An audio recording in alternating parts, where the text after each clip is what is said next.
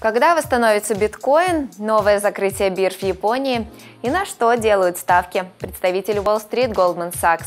Об этом более подробно в сегодняшнем выпуске. Здравствуйте!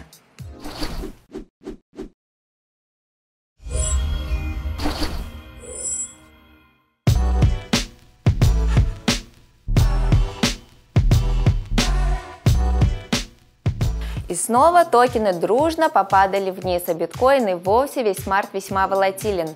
Общая капитализация криптовалютного рынка колебалась в промежутке от 270 до 350 миллиардов долларов США.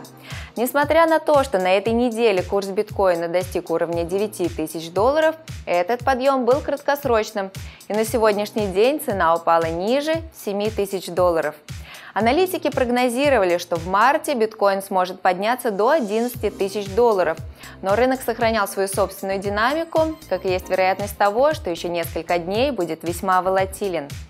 В последние дни было немало новостей, которые повлияли на снижение курсов. Так, например, массовые запреты на рекламу в социальных сетях и поисковиках – но есть и другое мнение, которое говорит, что дело не в новостях вовсе, а в том, что рынок демонстрирует трудности с восстановлением от 72% коррекции. Это третья по величине коррекция для биткоина. И как часто это бывает, после сильной коррекции крипторынок, скорее всего, упадет на несколько месяцев, прежде чем снова начнет подниматься. За короткий промежуток времени в общей сложности 5 бирж Tokyo Gateway, Mr. Exchange, Raimo, BitExpress и BitStation отозвали свои заявки на лицензирование и приостановление своей деятельности в Японии на фоне ужесточения государственного регулирования криптовалютной индустрии. На ужесточение контроля повлиял взлом CoinCheck, в результате которого было украдено 532 миллиона долларов – как сообщает Никей, это часть общей тенденции, и скорее всего в ближайшее время будут закрыты и другие биржи, поскольку они не в состоянии выполнить требования японских регуляторов. Что касается регулирования криптовалютного рынка, Япония является одной из самых перспективных стран в мире. Особенно принимая во внимание тот факт, что в этой стране произошли две крупных кибератаки на бирже, а именно CoinCheck и MTGOX.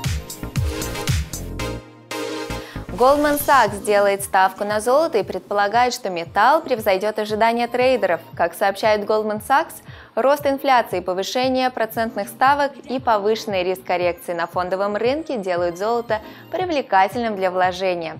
Золото опережало рынок в четырех из шести последних циклов ужесточения политики Федеральной резервной системы – ФРС повысила диапазон ставок по федеральным фондам на четверть процентного пункта на прошлой неделе и, как ожидается, сделает это как минимум еще два раза в этом году. С начала 2018 года золото торговалось в диапазоне от 1300 до 1370 долларов за унцию и вернулось к своему годовому максимуму в конце января.